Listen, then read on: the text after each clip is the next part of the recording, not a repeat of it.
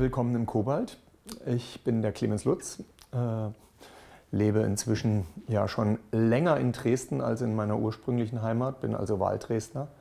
Und äh, schon lange habe ich auf dieses kleine Schlösschen hier, auf das Basteischlösschen mitten in der Altstadt an der Elbe geschielt. Und seit vier Jahren darf ich es inzwischen betreiben. Ähm, viele haben sicherlich schon einiges über diesen Ort gehört, viele waren sicherlich schon hier. Wir sind seit vier Jahren in erster Linie im Sommer durch unsere traumhafte Terrasse direkt an der Elbe bekannt.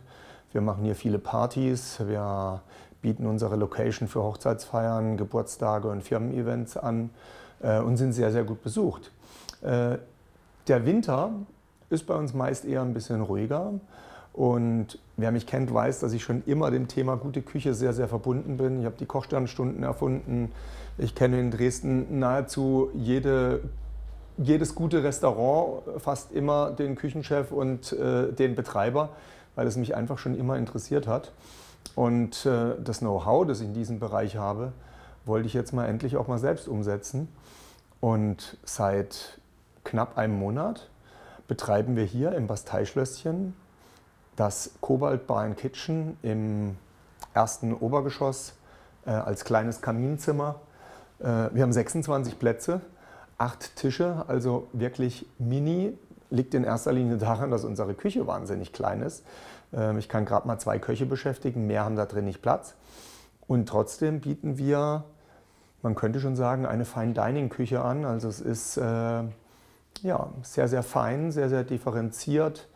Ähm, schon eine gehobene Küche, das kann man auf jeden Fall so sagen. Wir achten auf jedes kleine Detail. Bei uns soll alles irgendwie in einem schönen Design sein. Deswegen spielen wir mit den Farben Gold und Blau.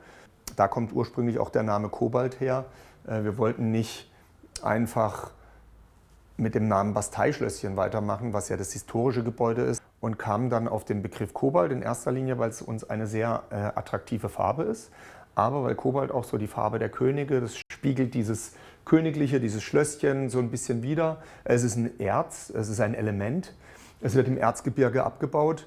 Also es hat hier mit der Region zu tun. Viele kennen es vielleicht auch damals noch so Meißner Porzellan, Kobalt, äh, gehörte ja nahezu zusammen. Auch da haben wir uns wieder dafür entschieden. Bei uns ist das komplette Porzellan äh, aus Meißen. Das ist zum Beispiel mein Lieblingsstück, in den habe ich mich spontan verliebt.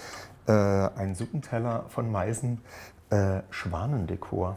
Hammer. Wenn du darin eine Suppe kriegst, kann nicht besser sein. So, und äh, was euch bei uns erwartet, das will ich euch jetzt kulinarisch vorstellen und selbstverständlich auch meine beiden Köche. Da kommt man mit in die Küche.